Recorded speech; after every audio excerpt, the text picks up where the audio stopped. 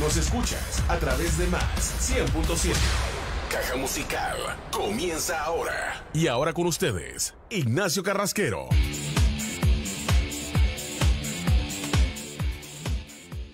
Buenas noches, bienvenidos a una nueva edición de Caja Musical a través de Más 100.7 FM, porque tus oídos merecen más y llegamos a ustedes como bueno, todos los días, lunes, miércoles y viernes a las 8 de la noche, en este caso un par de minutos más tarde, a través de dial 100.7 FM para la ciudad de Orlando y a través del www.más100fm.com y nuestro fanpage en Facebook, más 100 FM.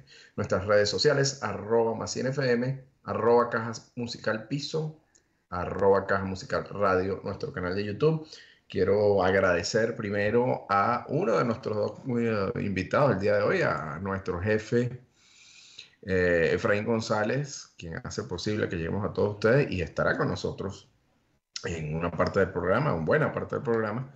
Y por supuesto también a, nuestro otro invitado que estará en unos minutos con nosotros vía Skype, eh, el señor William Díaz, fundador de Casa de Venezuela, Orlando.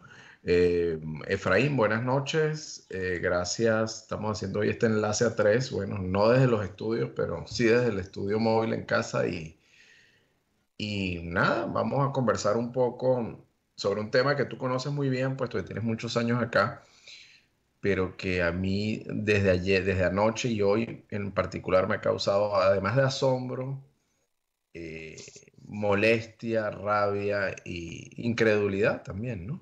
Esto que ha sucedido con migrantes venezolanos, en su mayoría venezolanos, el día de ayer y hoy en Florida y en el estado de Texas. Eh, con el gobernador de Santis, que ha sido el más vocal de los dos y ha dado varias ruedas de prensa. Em, y bueno, con cierta ironía o cinismo quizás da unas declaraciones hoy a los medios de comunicación. Eh, ¿Cómo estás, Efra? Buenas noches.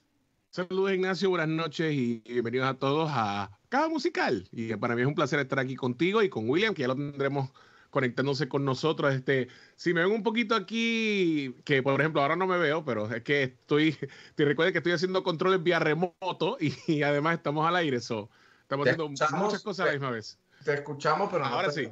Ajá, ahora sí. Bueno, eh, nada, comentarte y preguntarte, ¿no? Que ahora sí te tenemos perfectamente ahí en pantalla. ¿Qué, te, qué opinión te merece todo esto que está sucediendo, ¿no? Eh, en declaraciones, la vocero, um, yo soy el que salgo como cortado ahí, creo. Bueno, no importa, ahí nos vemos, ahí nos vemos. La, eh, la vocero de la Casa Blanca decía eh, que se estaban utilizando como ganado y como, como piezas en el juego político a estos inmigrantes, ¿no? Sí, definitivamente es bastante frustrante lo que está sucediendo porque ya el costo político de algunas personas no tiene escrúpulos, dado el caso en que están utilizando la, la humanidad y la necesidad de personas para crear una óptica a favor de lo que ellos están tratando de plantear como algo eh, imponente en cuanto a reglas se refieren en, los casos de inmigración. Sí, el tema, el, tema de, bueno, los republicanos estos dos gobernadores republicanos alegan eh, que, hay que hay política de fronteras abiertas de, de parte de la, del gobierno del presidente Joe Biden y que bueno, que perfecto, con cierta ironía, ¿no? Decía Ron DeSantis hoy, eh, valga acotar, por cierto, y resaltar que ha sido noticia a nivel nacional, en CNN y en las principales cadenas en inglés, ha sido noticia todo estos temas, incluida con entrevistas, ¿no? Aparte de esos venezolanos. Eh, pero él decía con cierta ironía que, bueno, no, les estamos haciendo el favor, le estamos dando una bolsita con, con, con comida, un mapa, del pueblo, de Martha's Vineyard, y los estamos llevando a, ciudades santuarios, decía él, ¿no? Es que el problema quizás no es tanto la situación de que están enviando a las personas a ciudades santuarios. Digamos que sí, ok, está tomando una, posición en la cual quiere eh, forzar la mano de ciertos grupos políticos para, para que hagan algo, dado el caso de en que han declarado sus ciudades ciudades santuario. Pero el problema no es ese, el problema es que básicamente lo hace de una manera en la cual no le avisa a nadie. Y es como si tú supieras que viene tu, tu suegra con el esposo, tus tres cuñados y sus cinco hijos. Y, te enteraste 15 minutos antes de que lleguen a la puerta. Hello, o sea, no te están dando ningún eh, tipo de eh. aviso para tú poder prepararte, poder hacer algún tipo de plan de contingencia, este, preparar los pequeños. te, entiendo ahí, Efraín, desde el, desde el punto de vista logístico, desde el punto de vista legal, si se quiere. Ahora, desde el punto de vista humano, Ah, no, ya eso es otra cosa totalmente aparte. No puedo decir la palabra que tengo en mente que se usa mucho en Venezuela. Porque es una bajeza, una bajeza totalmente. Estamos en radio y no lo puedo decir. Eh, pero hay que ser muy CDM, esa es la palabra que no puedo decir, para. O sea, son seres humanos, tienen niños. Eh, eh, la mayoría, al menos los cinco entrevistados que yo vi en CNN, se veía gente humilde, la mayoría, sí, pero gente decente, no se veían como decimos en, nuestro país malandro ni... No, claro. Entonces, es muy triste, yo veía algunos de los comentarios que hacían eh, Ignacio. A, la, noticia de CNN en inglés y lamentablemente de cada 10 comentarios, 9 eran comentarios sumamente xenófobos, racistas y burlándose. Bueno, pero, a lo mejor ya les dieron trabajo en los campos, ya los habrán duchado y ese tipo de comentarios. Y es muy triste un país de inmigrantes como este, la nación en teoría más libre del mundo y más próspera del mundo, que, que uno vea este tipo de, de reacciones de la gente común. ¿no? Claro, pero mira, Ignacio, en, primero que nada, en defensa de, de, los que no se ven muy muy acá, eh, como dirían, eh, eh, contra, se me fue la palabra que tú usaste. No se ven como gente. Malandros. Ajá, no sé, en defensa de los malandros. Pues, en defensa de los malandros, si tú estás caminando por un mes y medio por montaña, mm. bosque, lo que sea, chances son de que no vas a lucir a tu 100%. Así que tampoco nos podemos dejar llevar por esa descripción. Segundo, lamentablemente vamos a ver una situación en la cual, como siempre, van a haber gente oportunista, no importa de qué partido ni, ni, ni idiosincrasia uh, sean, que van a aprovechar esta situación y van a decir, ay, pues los vamos a ayudar, vamos a darle trabajo y les pagamos, les pagamos una porquería. Eh, sí, eso va a pasar, lamentable pero cierto. Pero me gustaría aprovechar ahora y darle la bienvenida a William. Ya lo tenemos. De Casa de Venezuela, que ya lo tenemos en conexión porque estoy seguro que si alguien puede explicarnos más allá y en abundancia más sobre esta situación, va a ser él. Buenas noches, William, ¿cómo estás? Hola, Ignacio. Hola, Efraín. Gracias por ah, la oportunidad de compartir este excelente eh, momento y conversatorio sobre toda esta ah, situación tan desagradable que estamos uh, forzados a entender y y de alguna manera u otra exponer. En muchas, gracias, muchas gracias a ti, William, por, por aceptar la, la, llamada y que fue un poco apresurado porque, bueno, los acontecimientos están, como dicen por ahí, en pleno desarrollo. Eh, sin duda un tema polémico. Eh, me causó mucho dolor, rabia e impotencia ver a la vicegobernadora de este estado, eh, cubana, con familia que residió en Venezuela en algún momento, a, uno de los encargados también del School Board cubano, que habla perfecto castellano, que tuve la oportunidad de conocer en Tallahassee hace un par de meses, aplaudiendo y el tono burlón y sarcástico ¿no? del, gobernador de la Florida, cuando decía que esperen porque les vamos a mandar muchos más porque tenemos 12 millones de dólares en presupuesto destinado a ello. Quería tu reacción sobre, sobre, bueno, no, no solo el proceder del actual gobernador, sino también de la reacción de algunos paisanos que lamentablemente aplauden este tipo de cosas, ¿no? Y, y, lo ven normal, si se quiere. Yo no puedo creer que un ser humano, desde el punto de vista, precisamente desde el punto de vista humano, pueda aplaudir este tipo de acciones. Eh, bueno, de nuevo, eh, muchas gracias eh, pero mira, todo esto fue planificado. Aquí no hay una sola cosa que no fuese calculada, preconcebida previamente por parte de el gobernador de Santis y, y su equipo, en el cual la mayoría pues se hacen cómplices de estas irregularidades por el momento, pero que pudiesen convertirse delitos. Correcto. Eh, sin, la, sin la menor duda, ¿no? Eh, por ejemplo, yo señalaba en una conferencia de prensa que tuvimos varias organizaciones esta mañana con la mayor parte de las organizaciones religiosas ecuménicas acá en el centro de la Florida, eh, con una asistencia muy buena a nivel de medios de comunicación y ya estamos viendo los resultados y, e incluso a consecuencia de eso hubo una respuesta, como bien señalaste tú, por parte del gobernador de Santi.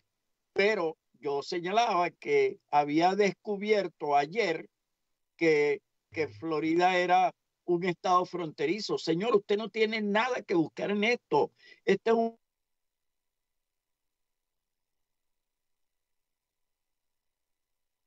creo que perdimos la conexión por un momento. Vamos a esperar a ver si William Díaz puede recuperar la, la señal.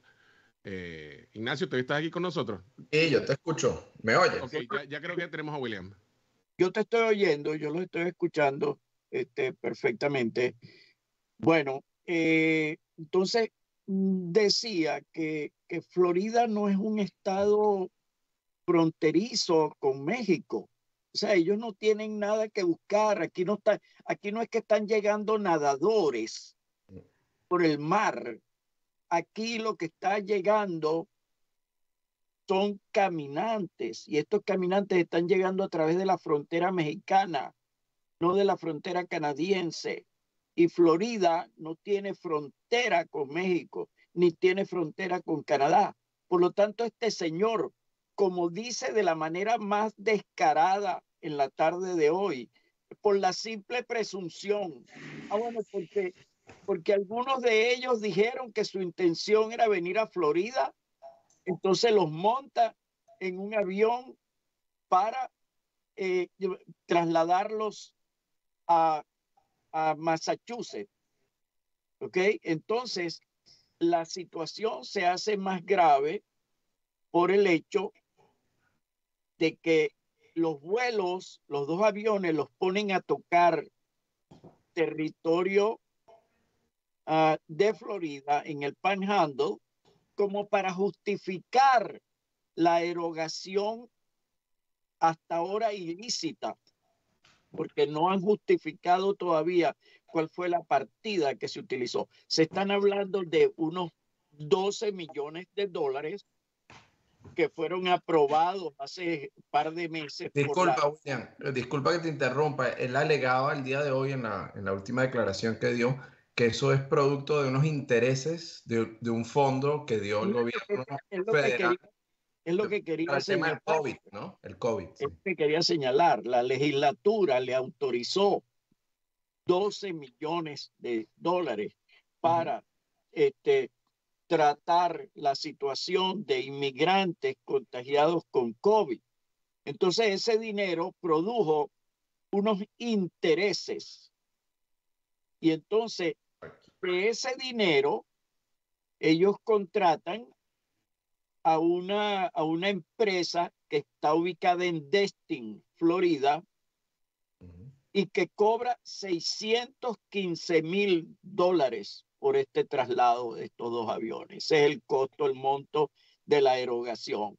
Entonces, no hay la menor duda de que allí el Departamento de Justicia tiene el, el, el, el, DOG, tiene, ellos tienen que entrar a averiguar en esto. Y también el Departamento de Transportación tiene que entrar a investigar en esto, porque eh, o sea, eh, por cuál, es, ¿cuál es la razón por la que un gobernador de Florida va a decidir? Es decir, el día de mañana el gobernador puede decidir que Ignacio Carrasquero y que William Díaz y que este, eh, Juan Saldariaga, yo los monto en un avión y los mando para California. ¿Por qué? Porque bueno, porque yo no quiero, yo no quiero inmigrantes legales en Florida. Entonces, eh, o sea, pero señor, ¿quién le dijo a usted que usted me puede mandar a mí para California? Entonces alega, no, que estas personas estaban en conocimiento. No, después que estaban dentro del avión, les entregaron unas bolsas donde le dieron algunas cosas. Mucho, mucho, mucho cinismo de parte del gobernador, un mapa, un mapa. Y además todo esto fue manejado por una persona que se identificó como Perla Huertas, pero que está desaparecida. El New York Times, el Washington Post, las grandes cadenas de televisión, muchas organizaciones andan tratando de localizarla y no han dado con el paradero de esta mujer. Se presume, se presume por la descripción que dieron algunos de los, de los pasajeros de, de, estos señores, eh, que corresponde, coincide la descripción física con la subsecretaria de prensa del gobernador de Santi, que además habla español, porque la persona hablaba en español. Entonces, bajo una mentira, bajo un engaño, los que más o menos sabían le dijeron que iban para Boston. ¿Ok? Pero, pero todos fueron engañados, todos fueron mentidos. Y así lo reflejaron a raíz de su llegada a, a Marta Villa. Entonces, sí, sí hace falta que haya una investigación exhaustiva de, de esta situación. Bueno, dado el caso, William, según lo que estás diciendo, es obvio de que vamos a ponerlo algo, algo que la gente pueda digerir un poco más fácilmente. Nosotros en este país estamos bajo una situación en la cual nos estamos viendo afectados mucho por el tráfico de seres humanos y por el tráfico de niños y por el tráfico de jóvenes que caen en, redes de prostitución, en grupos de drogas, en las manos de gente inescrupulosa que los utiliza para, para fines nefastos. Y muchas veces esas personas han sido traídas aquí con un engaño de que sí, porque te vamos a poner en un, en un, autobús o en un viaje y te vas a llegar a tal sitio y te vamos a dar trabajo, comida, ayuda para que saques tus papeles y todo, etcétera, etcétera. O sea, si nos ponemos a comparar esto no es muy diferente a ese tipo de situación, ¿cierto? Parece como unos, coyotes, unos coyotes tal cual. Exacto, exacto. O sea, ese tipo de comportamiento obviamente da mucho que desear, especialmente de oficiales electos. ¿Saben? ¿De qué estamos hablando aquí? O sea, están comportando como coyotes.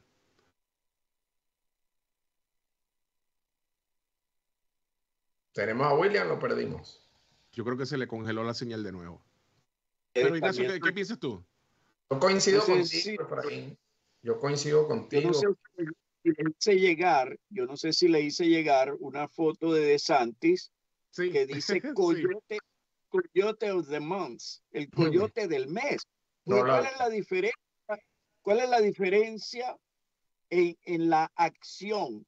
Aquellos es porque entran caminando en bicicleta o en, en un bote, pero, pero este, este coyote, pues, este, con saco y corbata, con, un gabán, este, utiliza unos, unos aviones. Ahora, eh, específicamente... Pagados por, pagado por, por básicamente dinero que se supone que sean para fondos de ayuda.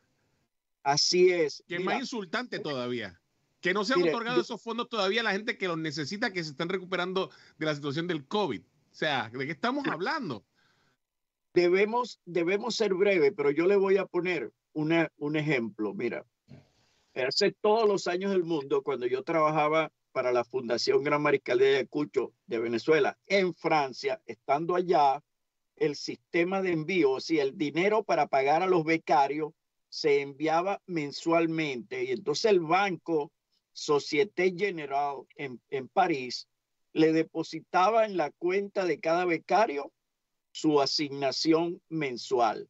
Bueno, decidió la oficina principal en Caracas enviar, en vez de enviar, y además porque había que pagar transferencias individuales. Entonces, si habían mil becarios, eran mil comisiones, mil gastos de mil transferencias. Entonces, ellos lo que decidieron fue hacer una sola transferencia de lo que llamaban un cuatrimestre, es decir, tres veces en el, en el año, eh, este, ellos enviaban el dinero de cuatro meses.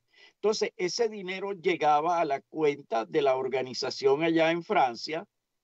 Y entonces, cuando llega por primera vez el dinero, yo voy al banco y hablo, todavía me acuerdo, con Madame Millón y le digo, bueno, ¿qué, qué se puede hacer con, con ese dinero? O sea, y, y, le llevo la nómina de, de estudiante. Y entonces ella me recomienda que para que ese dinero, por, o sea, se iba a pagar el, el primer mes de, de beca, ¿verdad? De los cuatro meses.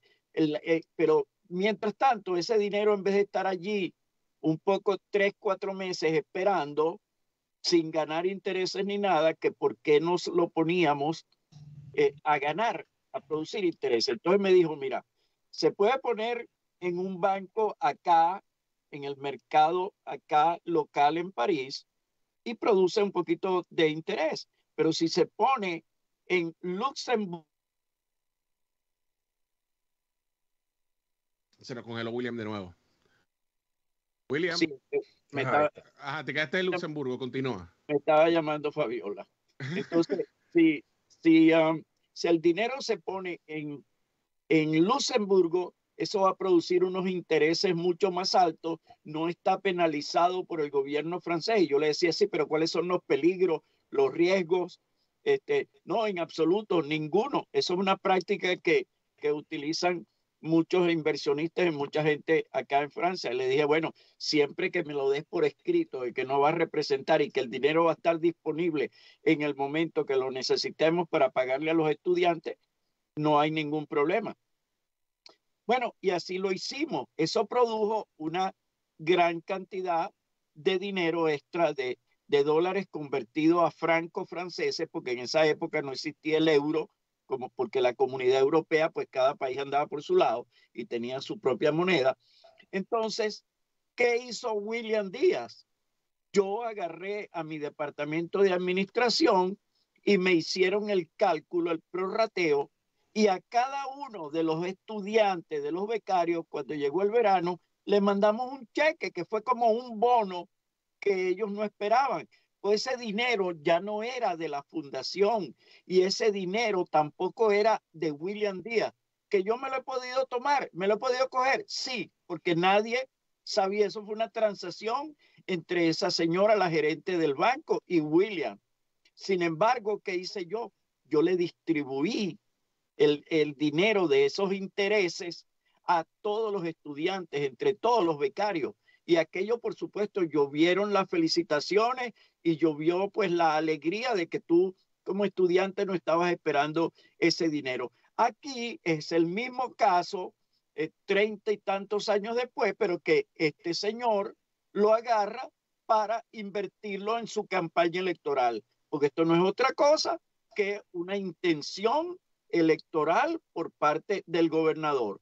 Y se choca con una piedra que es la comunidad venezolana, donde la inmensa mayoría se ha hecho eco de ese eslogan que yo repito permanentemente, mi partido se llama Venezuela. Y aquí de lo que se trata es de la dignidad de estas personas que han sido manipuladas, han sido utilizadas y entonces pues este, hoy por uno, mañana por otro, pero no podemos permitir que estas cosas sucedan. Y es por eso pues que habemos un grupo trabajando con algunos abogados y con algunos oficiales electos a nivel de legislatura y a nivel federal este, para ver qué tipo de acciones legales se pueden ejercer. Sin embargo, la arrogancia de este señor, pues lo pone ya a decir que él dispone de esos 12 millones para gastarlos íntegros en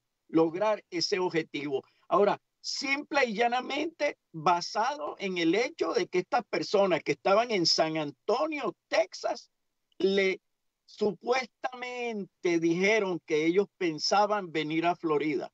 Entonces, por una presunción, tú lo vas a agarrar ¿entiendes? Como si alguno de ellos hubiese dicho, yo me voy a ir a Miami Beach y me voy a poner un bikini de mujer y me voy a pasear por las aceras de, de, de Collins Avenue. Ah, bueno, entonces espérate, que te voy a meter en una cárcel en Ocala o en una cárcel en Tallahassee, porque tú estás diciendo que vas a venir a Florida a, ponerte un bikini en, en, Miami Beach. O sea, por Dios. No solo eso.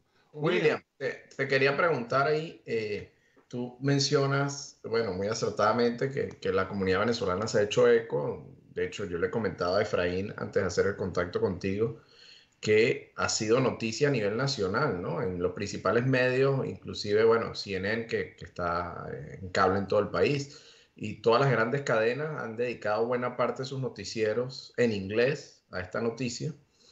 Hemos visto como eh, tanto el gobierno del presidente Joe Biden como muchos de los senadores, congresistas y, oficiales electos eh, demócratas han, salido a hablar en favor de, los migrantes y, a criticar este, este trato de, como si fuera ganado de estos migrantes en su mayoría venezolanos. Ahora te quería preguntar si conocías o habías escuchado algo de la posición oficial de los dos senadores por la Florida, que bueno, conocemos su posición frente a los migrantes y, con, y bueno, ambos son republicanos. Quería saber si habías escuchado posición del senador Rubio y del senador Scott. Bueno, mira, sí, eh, lamentablemente, eh, con todo el dolor del alma, tengo que decir que en ese sentido Florida está huérfana de apoyo por parte de los senadores. Eh, como de costumbre, nuestro querido amigo el senador Scott ha optado por eh, un silencio un poco prudente, una actitud un poco prudente. No olvidemos que dentro de dentro del Partido Republicano hay ahora mismo una situación un poco difícil porque se está luchando internamente por el eventual liderazgo que pudiese venir producto de las elecciones de mitad de término. Entonces, ¿qué pasa? Hay un ala donde hay un enfrentamiento entre el senador Scott y el líder de, la minoría eh, republicana en el Senado, Mitch McConnell. ¿qué pasa? Que si los republicanos llegaran a tener la mayoría, pues lo lógico es que McConnell volvería a pasar a ser el líder de la mayoría en el Senado, pero resulta que el Rick Scott le está latiendo en la cueva, que tampoco es un secreto, tiene aspiraciones presidenciales. Entonces, evidentemente va a llegar un momento, pues, que va a tener que, que, chocar o con Donald Trump o con algunas personas como como Marco Rubio. Rubio ha sido eh, la gran decepción política para mí. Eh, a ustedes dos les consta la cercanía que siempre tuve, incluso muchísimo antes de, tener la amistad con el senador Scott, eh, tenía muy buenas relaciones con el senador Rubio, pero como señalé en la conferencia de prensa muy numerosa, por cierto, el día de hoy, donde la mayoría o la totalidad de los medios eh, anglo de acá del centro de la Florida hicieron presencia en esa conferencia de prensa hoy, ¿no? Eh, tanto las televisoras como, como los periódicos eh, en inglés, además de las televisoras y los periódicos en, en español. Pero sí, Rubio ha entrado en una eh, es decir, hemos descubierto al verdadero Marco Rubio. Pero lo que pasa es que son una cadena. Yo no sé qué pasa que los, la mayoría de los hispanos eh, eh, tienen una facilidad enorme para olvidarse de, de, su pasado, de, sus, orígenes. Sus orígenes. orígenes. Sí, la corta memoria. Eh, de memoria corta, sí, así es. Entonces, entonces, ¿qué pasa?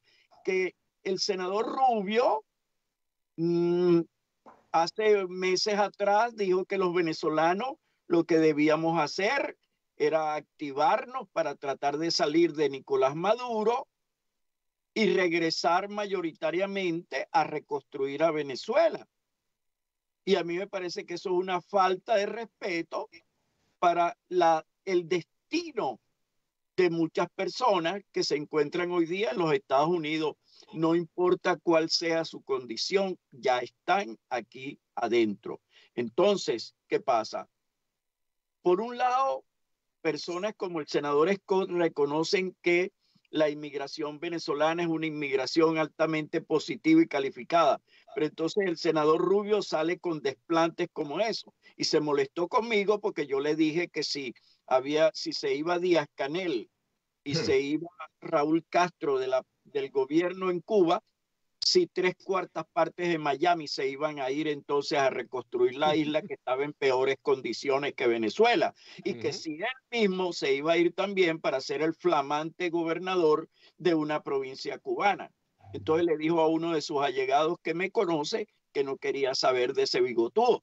Entonces yo lo siento en el alma, pero como dice, como dice el refrán, en el reino de los cielos, primero yo que mi padre, primero mis venezolanos y después la simpatía o la relación que pueda tener por Marco Rubio, relación de la cual él sacó mejor provecho que yo, porque por lo menos sacó mi voto en una elección pasada.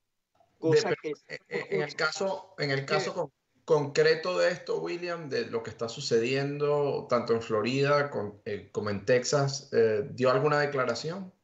Sí, entonces él, el, el día de hoy él manifestó totalmente y salió evidentemente a justificar la actitud del gobernador, pero es que él, no le quedaba más remedio que salir.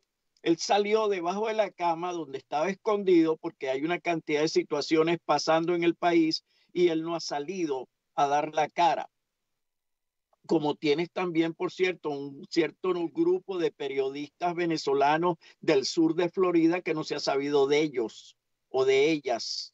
Entonces, entonces salió hoy a justificar la actitud del gobernador, pero es que él se está juzgando en esta carrera que no la tiene fácil contra la señora Valdemings, entonces él no puede en estos momentos echarse en contra eh, la maquinaria que pueda manejar de Santis. Entonces, es decir, los mochos se juntan para rascarse. Yo te apoyo en tu aspiración de repetir en el Senado, tú me apoyas en mi aspiración de reelección y presidencial y presidencial futura. Ahora, e, en todo esto también hay el papel de Janet Núñez, la vicegobernadora, quien fue también bien allegada a mí. Fuimos, fuimos, fuimos, y digo, hablo en pasado, Recuerdo ese desayuno, recuerdo ese desayuno con ella, sí, señor. No, y no solamente ese desayuno, eh, Ignacio, cuando, cuando vino de visita a Miami, Fabiana Rosales, la esposa de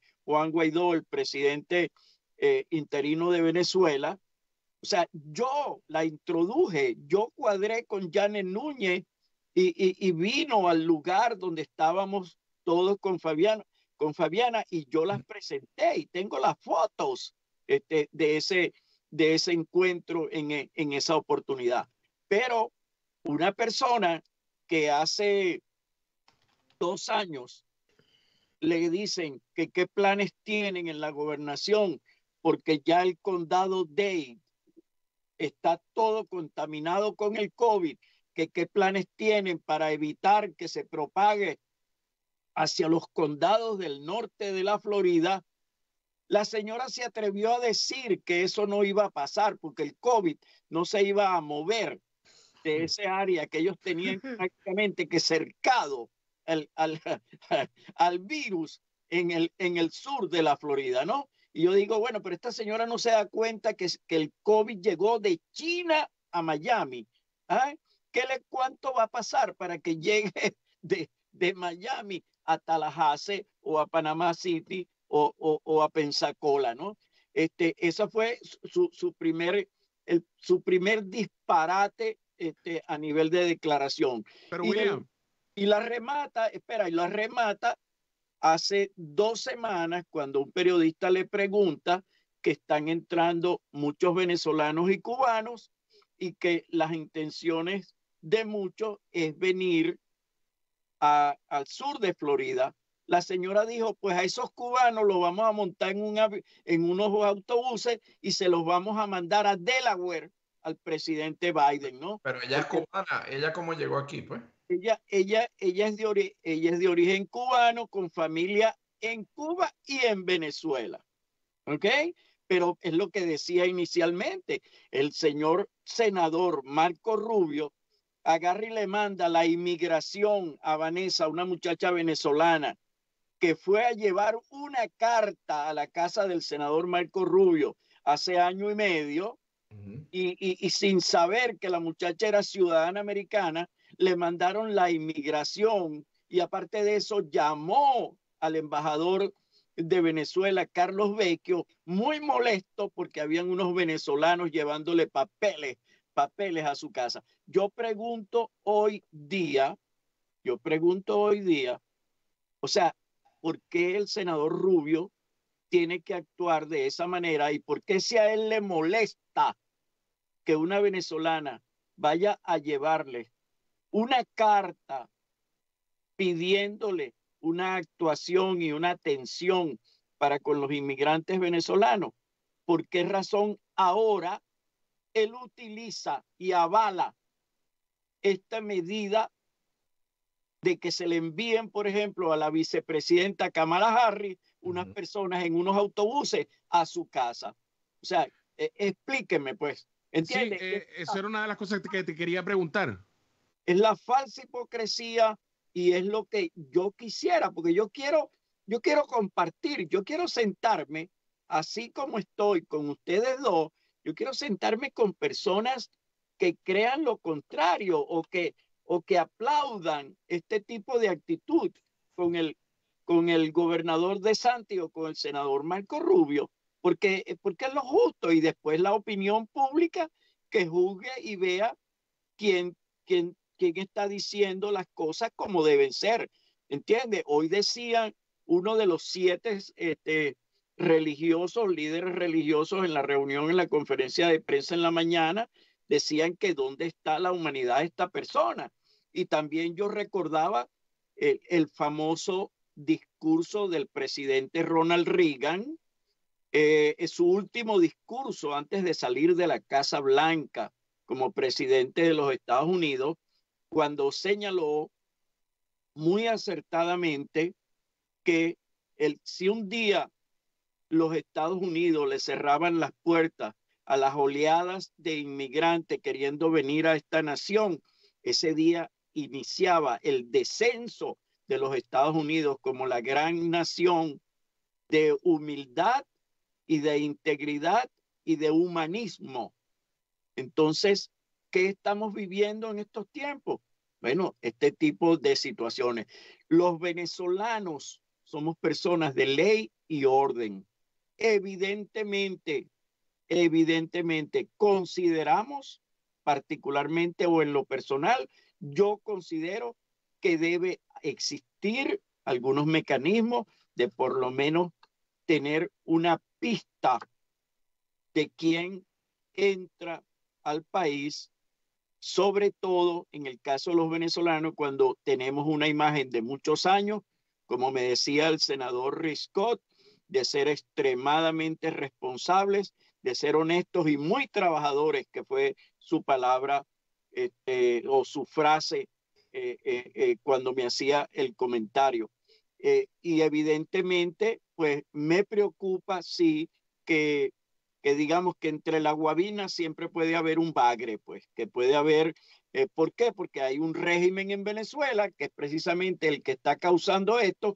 Para nadie es un secreto que en los 60 eh, abrieron las cárceles en Cuba y a través del éxodo del Mariel se pudieron venir a los Estados Unidos una cantidad de criminales, malandrines, delincuentes, y tampoco podemos olvidar el caso del Salvador, donde eh, se colaron las, las maras, la Mara Salvatrucha y, otras y otras pandillas que hicieron terror en Los Ángeles y eh, no, no todos los venezolanos son santos, pero tampoco, este, eh, digamos, los buenos somos muchísimos más. Pero sí considero que debe haber un poco de, de, de orden en esto y es la función que ha debido asumir el gobernador utilizar ese dinero para tratar de emplear mecanismos a través de entrevistas donde se pudiesen detectar algunas de estas personas con comportamientos este, extraños que aunque no lo manifiesten aquí a través de la psicología, es muy fácil detectar la personalidad que pueda existir en muchos de estos señores. Mira, Efraín, te quiero hacer una pregunta a ti para, y bueno, a William también, a los dos para conocer su opinión. Eh, en, el tren de gobierno de, la Florida hay, hay, muchísimos oficiales hispanos, ¿no? Uno de ellos, que tuve la oportunidad de conocer en mayo, una visita a Tallahassee, es Manny Díaz Jr. Él es el, se convirtió en el primer comisionado de educación para la Florida, él es cubano, evidentemente, y me causó, eh, bueno, yo no sé, indignación y, yo no lo podía creer. El, que más aplaudió hoy en la rueda de prensa de, de Santis cuando dijo, voy a mandar todos esos inmigrantes, todos esos aliens, fue la palabra de, de Santis, ¿no? todos esos aliens los voy a seguir mandando con este presupuesto. Y uno de los que aplaudió a rabiar, aparte de la vicegobernadora, fue Manny, ¿no? Eh, ahí viene un poco lo que decía Efraín, memoria corta. Se olvidan de dónde vienen, lo que son y, y son más blancos que los blancos americanos, entonces. Bueno, eh, te puedo decir por mi parte que en definitiva, eh, aquí ahora mismo estamos hablando del caso de los venezolanos que acabaron en Martha's Vineyard. 50 personas, sí. Pero esto para nada es ni el primer caso, ni será el último caso. Ahora mismo todavía se está manejando la situación que, de los inmigrantes que llegaron a Washington, D.C., que por lo general, cuando antes llegaban inmigrantes a Washington, D.C., que lo hicieron de la misma manera, bajo engaño, porque conocemos de casos, yo personalmente conocí a uno que lo, que lo mandaron de Texas a Washington y acabó en Miami porque lo mandaron a la embajada de Venezuela. Pregúntame. Al consulado. Al consulado, perdón. Entonces, eh, eh, antes por lo menos el autobús llegaba a The Union Station, que por lo menos en el Union Station habían centros de acopio donde otras organizaciones no gubernamentales habían pues, puesto puestos para que la gente pudiese tener algún tipo de información y por lo menos pudiesen tener un tipo de ayuda cuando llegaban y se bajaban del autobús. Pero en este caso los dejaron enfrente del observatorio naval, en medio de una avenida. O sea, simplemente bájense ahí y, chao, bye.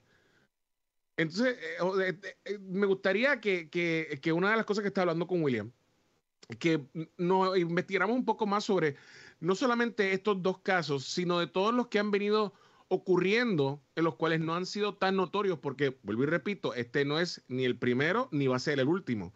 Y además de ese, hay casos de gente que los están mandando para California, para otras ciudades santuario, que no, no, obviamente no han sido tan, tan publicados ni tan, ni tan notorios.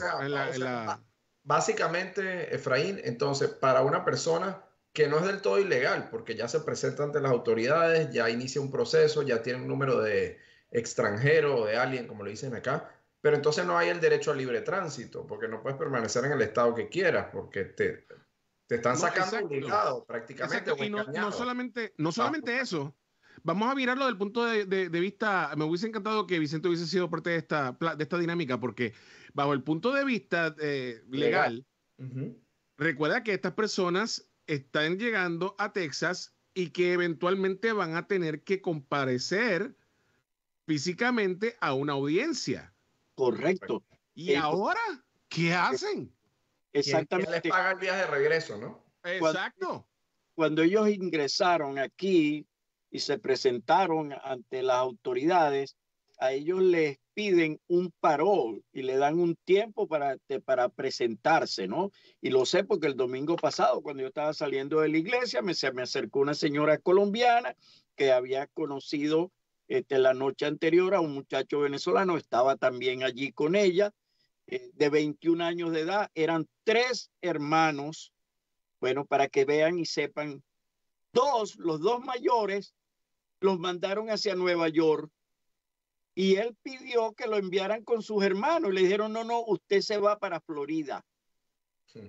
¿Ok? Entonces le dan una dirección de un lugar, un refugio en Lee Road. Él llega a esa, a esa dirección en Lee Road y resulta que ahí no hay ningún refugio. En esa dirección lo que hay es un assistant living para personas de, de la tercera edad. Me imagino y le dan además un papel con una dirección del consulado de Venezuela en Brickell, pero que está en Miami.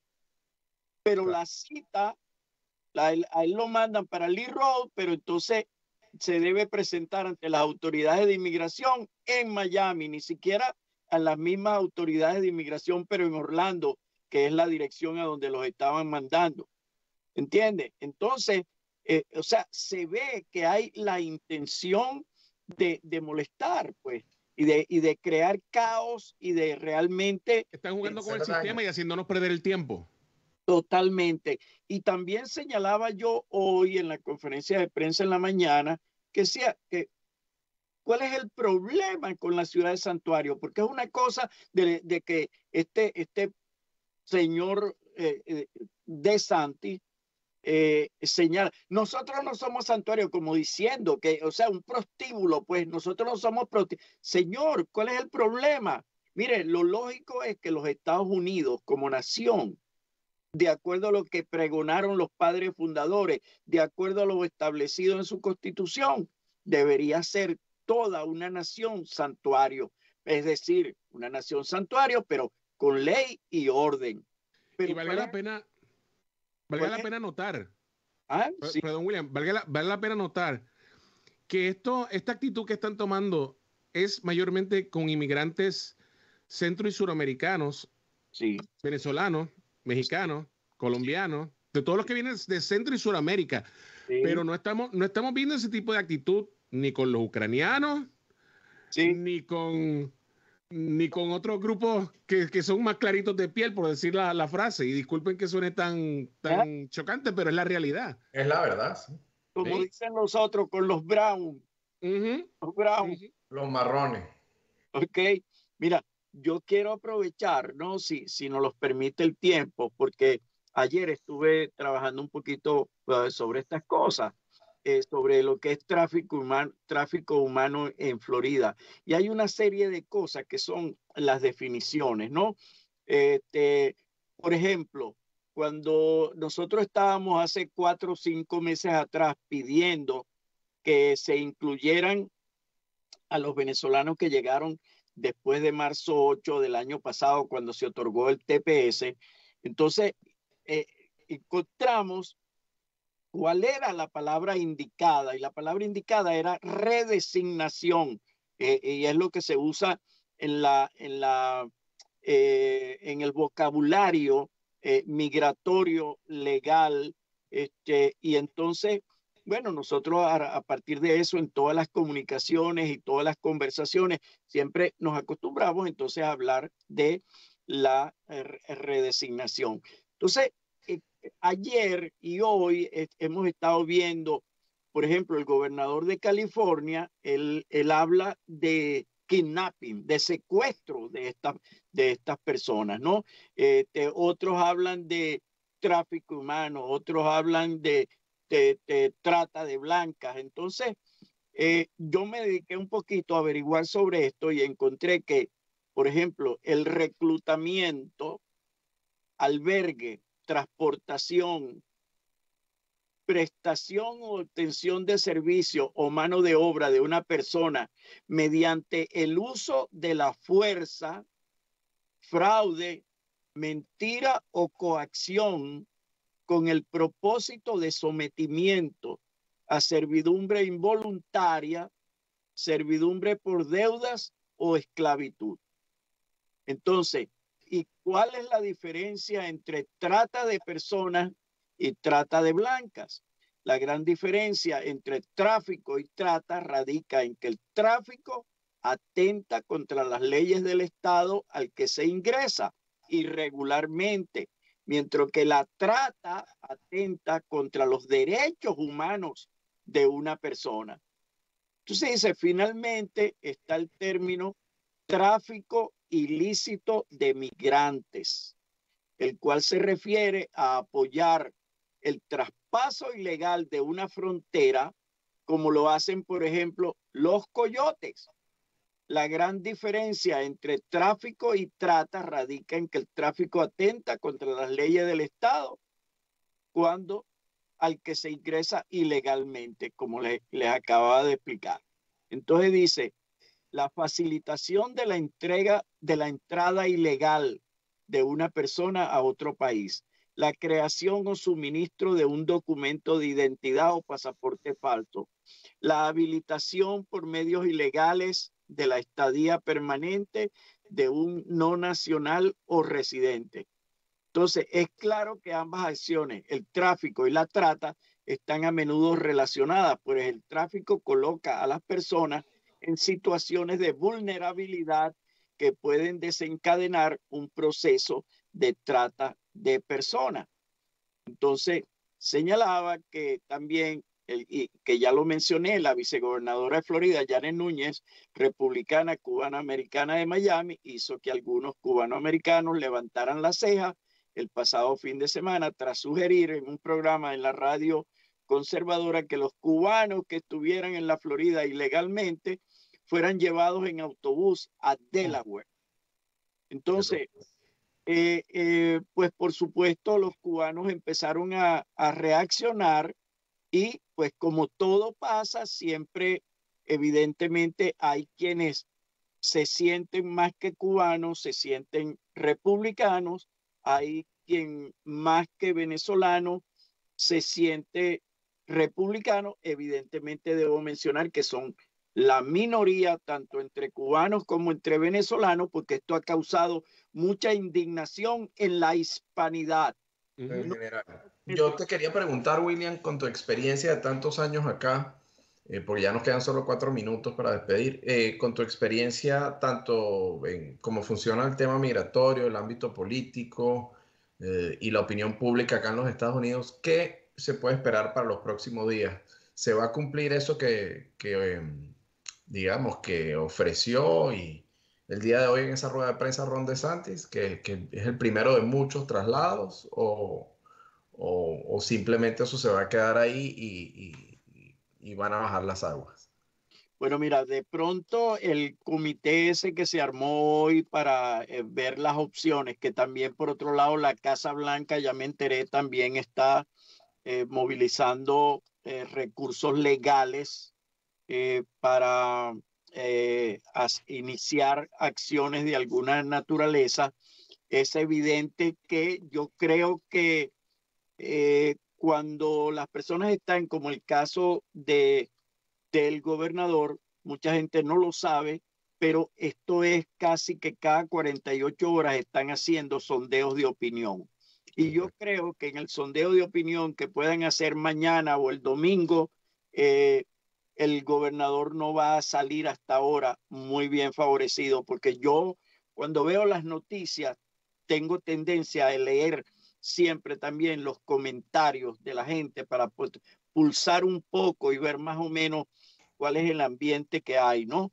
Y en el, en el caso de la noticia de, de, de Santi y algunos tweets, este, se puede percibir los comentarios adversos, el feeling que hay, ¿no? Entonces, eh, yo no creo, yo creo que ya él no se va a estar dedicando a estar con estos golpes eh, publicitarios porque lo que puede es ya tomar el riesgo de que por la ley de Murphy algo le salga mal, Dios no lo quiera, se caiga un avión de esto, este, un autobús de estos se estrelle, este tipo de circunstancias que va a ser muy, pero muy cuesta arriba justificar ante la opinión pública. Sin embargo, te, recibí la información de que hoy en la noche iban a salir para Chicago ocho autobuses para Chicago. Entonces, eh, no es mera coincidencia de que nuevamente buscan estados y buscan ciudades este, llamadas santuarios. Es decir, como están en contra de la ciudad de santuario, entonces por eso es que están, como quien dice, como dijo el padre Palmar, tirando como que fuera ganado, como que fueran chivos, eh, tirándolos en, en, ciudades específicamente con esa intención dañina. ¿Por qué no los mandan a Oklahoma? ¿Por qué no los mandan a estados que son eh, este, mayoritariamente o dirigidos con un gobernador eh, republicano? Porque la intención es total y estrictamente política, no hay otra. Claro, evidentemente. Como el caso de, del expresidente Trump. Ok, vengan acá, que había, que no había, se llevaron tres cajas, que no, que no fueron tres cajas, que fueron 14. El tema central es, señor, ¿Qué hacía usted eh, con eso en su casa? Explíqueme eso y ya todo lo demás es secundario. Aquí es lo mismo. Señor, usted no es un estado fronterizo. ¿Qué tiene usted que está buscando en ese sancocho cuando esa olla en esa cocina son de Florida? Tan simple como eso. De Texas, de Texas. No, de, de, Florida, porque el gobernador Scott, eh, perdón, el gobernador de Santi, o sea, Florida no es un estado fronterizo. El argumento, el argumento que él da es que las personas supuestamente dijeron que aspiraban venirse a Florida. Ah, bueno, entonces te monto en un avión y te llevo para Martha's Viña. ¿Por qué no lo montaste en un avión y lo llevaste para Norman en Oklahoma? O a Colorado o a Las Vegas. ¿Por qué, ¿Por qué específicamente? ¿Por qué la intención de la burla, del daño, de buscar el impacto? Y no hemos hablado de una persona que se llama Perla Huertas, que aparentemente pues están, la están rastreando porque no se ha podido localizar para que rinda cuentas de por qué, porque esa fue la autora de la falsedad y de la mentira para todos los, los, los pasajeros. De, hecho, ella, ella incurrió en, en probablemente un delito, ¿no? Totalmente. quiero agradecerte, nos quedamos cortos, ya son las 9 y 1. Mil gracias por, por atendernos y por darnos tu, tu, punto de vista y tu opinión sobre este tema que probablemente seguiremos conversando en los próximos días. Esperemos que, que no se siga tratando a la comunidad inmigrante, en especial a este grupo de venezolanos, como, como bien decía Pedro Palmar, como acabas de mencionar, como ganado, ¿no? Esperemos que, que eso no siga ocurriendo. Así es. Y muchísimas gracias. Y bueno, por acá, esta es tu, esta es tu casa cuando quieras volver estar. Yo quiero, Ignacio, en particular agradecer enormemente a la, la, comunidad puertorriqueña de Florida Central, que mira, por cada rato me está sonando el teléfono, cada rato me están llegando mensajes de solidaridad, de una cantidad, pero increíble. De, de puertorriqueños y, y, y lo menciono porque es que me alegra tanto, porque siempre señalo que cada vez que hay una tragedia este, de naturaleza, de la naturaleza, cada vez que hay un terremoto, que hay un deslave, que hay un problema, que hay... oye, siempre el puertorriqueño es el primero que llega. Y, y, siempre lo digo, bueno, hoy día Venezuela, los venezolanos en los Estados Unidos estamos viviendo esta tragedia este, de este descalabro, esta inacción que ha cometido este señor y, la solidaridad puertorriqueña eh, eh, con Casa de Venezuela y con, y con la, la diáspora venezolana está allí y, realmente quiero expresar mi, mi inmensa gratitud. Y, y, te dejo a ti para que recuerdes que tenemos un evento mañana muy interesante después de, a, la, partir de las 10 de la mañana en Fear Baptist Orlando sobre las oportunidades de, de, becas y las oportunidades de validación de títulos. Sí, señor, lo tengo por aquí, tú me lo enviaste, déjame ver si lo tengo. Ay, quiero hacer una mención muy importante, no la hice al aire, pero eh, bueno, hoy iba a estar con nosotros nuestro compañero Juan Saldarriaga y lamentablemente su señora madre, la señora Lía Mira de Saldarriaga, eh, falleció eh, en la ciudad de Medellín y por supuesto nuestro compañero no pudo estar con nosotros de hoy, un el día de hoy. Un fuerte abrazo nuevamente, Juan. Estuvimos conversando largo rato y bueno, te hago de manera pública mm, eh, mis condolencias. El evento eh, es la gran jornada de orientación de oportunidad para becas para, para hijos, para sus hijos. Eh, es una conferencia gratuita llevada por Samuel Vilches y será este sábado, como bien dice William, 17 de septiembre a las 10 de la mañana en el First Baptist Church. Eso es en la John Young Parkway. El número 3000 South eh, John Young Parkway. El día de mañana. Eh, bueno, nuevamente muchísimas gracias William, muchísimas gracias Efra. Quería antes de despedir, mm, por acá nos mandaron varios saludos. Jesús, siempre en sintonía. Jesús Alejandro, muchas gracias. Gracias por, espero que te haya gustado el programa. Adán, también muchos saludos. Eh, de parte de Ignacio Padre, que está conectado desde Quebec. Un abrazo, papá. Gracias por la sintonía. Efraín, muchísimas gracias también por, permitir la conexión y sobre todo por estar con nosotros un rato, que, que rara vez lo logramos convencer para que comparta con nosotros. Efraín siempre aparece cuando hay temas polémicos y temas candentes. Hay que, convencerlo, hay que convencerlo que esté más activo, que participe más en este tipo de conversación. Claro que sí, siempre muy, buena, muy buenos comentarios y, y, muy buen punto de vista. Sí, señor. Feliz fin de semana para todos, cuídense mucho. Nuevamente, muchas gracias a todos y eh, será hasta el lunes, si Dios quiere. Esto fue todo. Vale, bye bye.